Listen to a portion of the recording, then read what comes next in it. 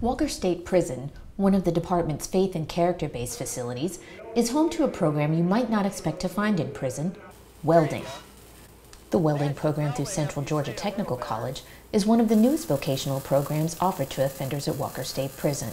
Teaching them skills to cut and weld metal using a variety of techniques requires mutual respect and trust of both staff and instructors but that trust has been earned by the welding students at Walker. It's a real big deal to these guys. You can tell every day when they come in that somebody had enough faith in them to start a program like this and trust them enough to be able to do it. And they really, they give a lot in here. They work hard.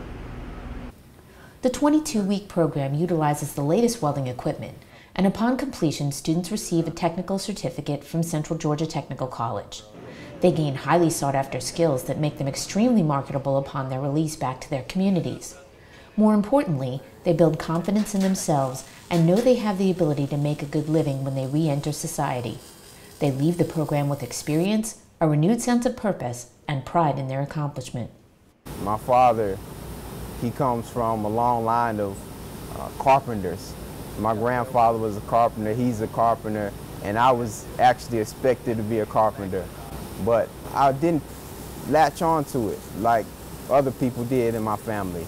And so when I wrote my father and told him I was in the welding class, he sent me back a letter with him in a welding outfit and he had a welder in his hand. And uh, he said, all right, son, you finally got it.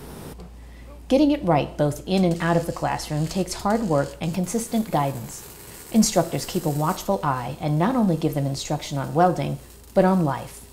With support from their instructors and prison staff, the students in the welding program are on the road to rehabilitation. For the Georgia Department of Corrections, this is Real Time, Reel Life.